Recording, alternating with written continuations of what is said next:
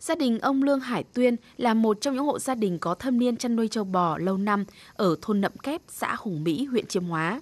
Theo ông Tuyên, để nuôi châu bò vỗ béo hiệu quả thì thay bằng thả rông như truyền thống lâu nay, gia đình ông chuyển sang nuôi nhốt hoàn toàn và chú trọng về chế độ ăn cho đàn vật nuôi.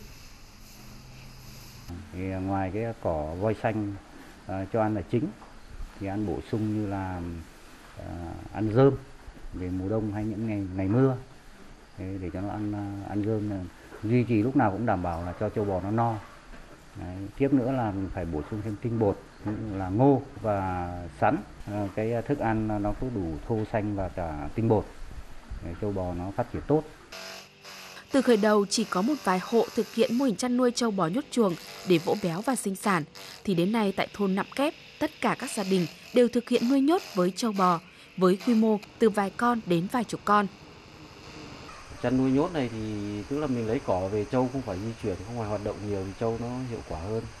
Nó mình bổ sung thức ăn nhiều hơn nữa thì trâu nó béo và tốt hơn. Nó nó tiết kiệm được nhiều thời gian hơn. Tức là ví dụ mình làm một chuyến cỏ một lúc về là có thể trâu bò ăn cả ngày.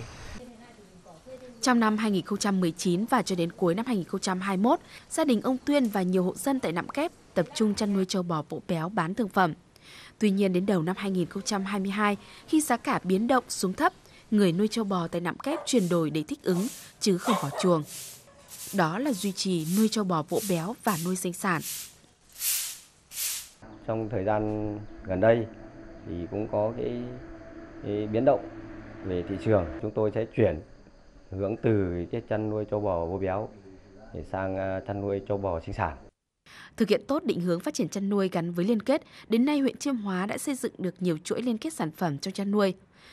Từ đó giúp cho hoạt động chăn nuôi đại gia súc để giảm nghèo tại Chiêm Hóa vẫn phát triển ổn định, đứng vững trước tình hình giá gia súc sụt giảm trong thời gian gần đây.